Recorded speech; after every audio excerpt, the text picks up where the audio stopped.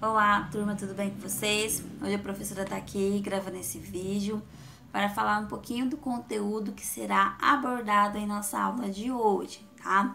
Então, peguem lá o livro de vocês, abram na página 14 e acompanhem a professora.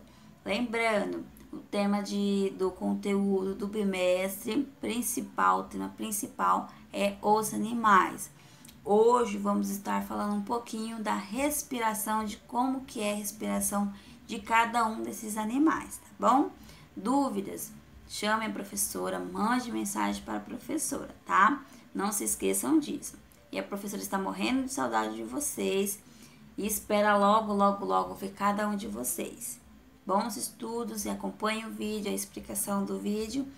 E no final é, a professora também vai estar passando atividades. Então, é essencial que vocês prestem atenção na, em todo o vídeo, façam as anotações necessárias. A respiração é por onde obtemos energia. Lógico, além daquelas que a gente também consegue obter a partir do consumo de alimentos. Da mesma forma são os animais. Quando eles não ingerem alimentos suficiente, eles começam a ficar a perder energia e isso vai afetar também a respiração deles, que eles vão começar a ficar fracos, debilitados. Por meio da respiração, o nosso organismo ele capta o oxigênio e elimina como gás carbônico, tá? Então, quando a gente puxa o ar, estamos puxando oxigênio. E quando a gente elimina esse ar, estão eliminando como gás carbônico, tá? Se vocês quiserem anotar isso no caderno, seria bem interessante. Ou anotem no livro mesmo de vocês. A respiração pulmonar, ou seja, aquela realizada pelo pulmão, é realizada por três tipos de animais. São eles os mamíferos, as aves e os répteis. Ah, professor, o que é mamífero, o que é ave, o que é répteis? Gente, calma. Esse assunto vai ser um assunto da próxima aula. Um pouquinho mais para frente lá, a professora vai estar aprofundando esse conteúdo junto com vocês, tá bom? Então não se desesperem. Os pulmões, eles são, algo, são órgãos internos que ficam dentro do nosso corpo, ou seja, interno, dentro, externo é fora, tá? Então, mas o pulmão é um órgão interno que fica dentro do nosso corpo, assim como nos animais. Dentro dele existem pequenas cavidades por onde o ar entra na nossa corrente sanguínea, faz a troca gasosa na célula a célula manda de volta para nossos pulmões e a gente expira esse gás que foi trocado. Quando a gente expira esse gás, a gente expira como gás carbônico.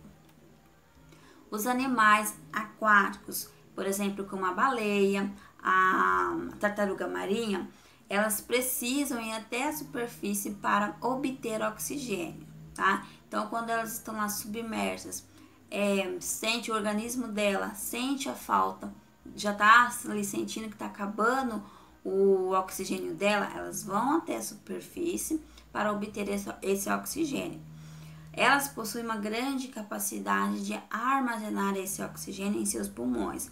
Por isso, elas conseguem passar grande parte do tempo submersas na água, tá?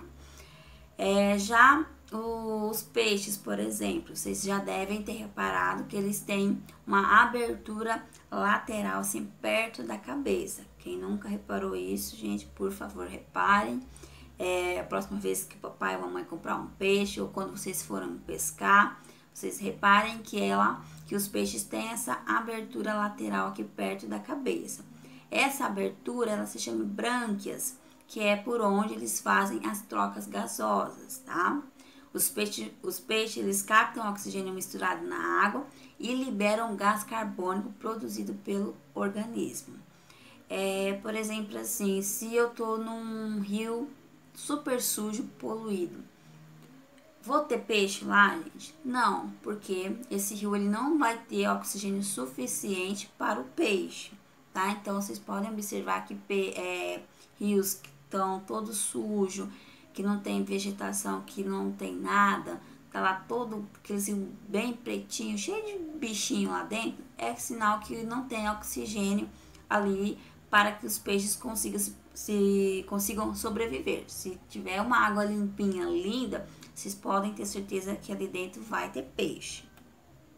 Agora os insetos e aranhas. Como é que eles respiram, professora?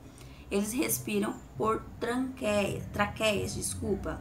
Essas traqueias, elas são como tubos. Não é tubos lá dentro do corpo dos animais, tá, gente? É um exemplo que a professora tá dando aqui para vocês conseguirem imaginar. Então, esses, é, eles são tubos que se espalham pelo corpo inteirinho do animal, tá? E é por onde acontece também a troca gasosa.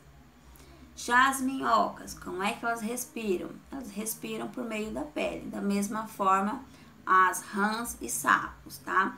Então, por isso é necessário que os ambientes desses animais sejam ambientes úmidos.